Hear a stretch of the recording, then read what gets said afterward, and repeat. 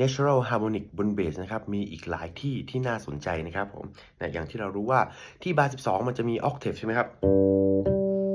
ใช่ไหมแล้วก็ที่บาร์ 5 จะมี2 octave หมายถึงอีก octave หนึ่งอะสูงขึ้นไปอีกนะครับ แต่นะครับถ้า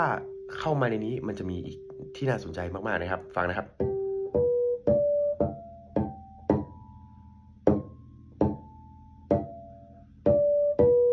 นไหมครับ มาได้เยอะเลยนะครับ ซึ่งถ้าฟังดูดีนะครับนะฟังดูดีจะได้ยินเสียงคอร์ดโทนด้วยนะครับผม ได้ยินไหมครับเนี่ย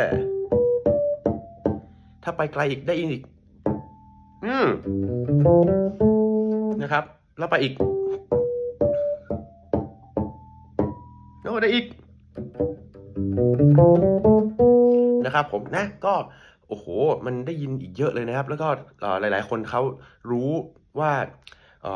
แต่ละอันเนี่ยมันมีโน้ตอะไรบ้างนะครับ ในแต่ละสายเช่น อันนี้สาย G มันก็เป็นคอร์โทนของ G นะครับ เมื่อกี้ based on G7 ก็คือ G B D F G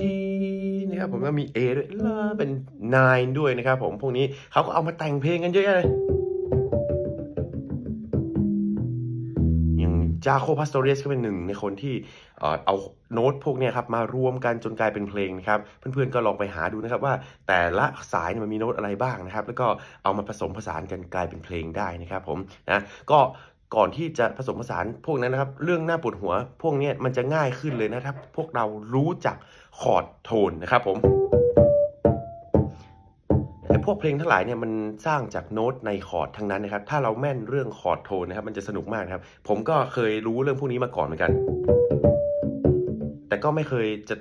หยิบมาใช้ได้เลยจนกระทั่งนะครับ พอฝึก walking bass นะครับ walking bass อีกแล้วนะครับ จริงๆ walking bass ที่มันเปิดเปิดประตูทางดนตรีให้ผมเยอะมากนะครับ แล้วผมก็อยากให้เพื่อนๆทำได้ด้วยนะครับ เพราะฉะนั้นใครสนใจอยากจะเล่น walking bass เป็นนะครับ ผมเราจะแม่นเรื่องคอร์ดโทนนะครับ เราจะคิด create ได้นะครับ เรื่อง fill in เรื่องอะไรมันก็ตามมานะครับผม อันนี้เรื่องขนาดเรื่อง harmonic เรายังสามารถหาข้อมูลต่อจากตรงนี้ได้อีกเยอะแยะเลยนะครับ ก็ตรงนี้มี G7 ตรง D7 ก็มี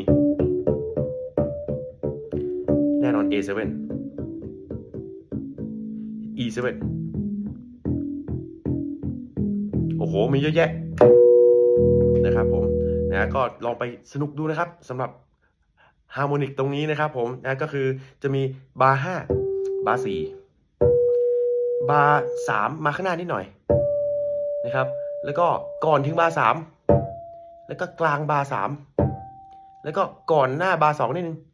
อ่าลองไปหาดูนะครับ ผมกดให้ตรงนะครับถ้า ตรงจุดจริงๆ เราจะได้ยินโน้ตนะครับผม โอเคนะครับ ไปลองดูนะครับ แล้วก็ถ้าใครสนใจอยากจะเรียน walking bass กับผมนะครับ หรือคอร์สอื่นๆ ที่เป็น basic ก็มีเหมือนกันนะครับ ก็ติดต่อทาง inbox ได้ครับ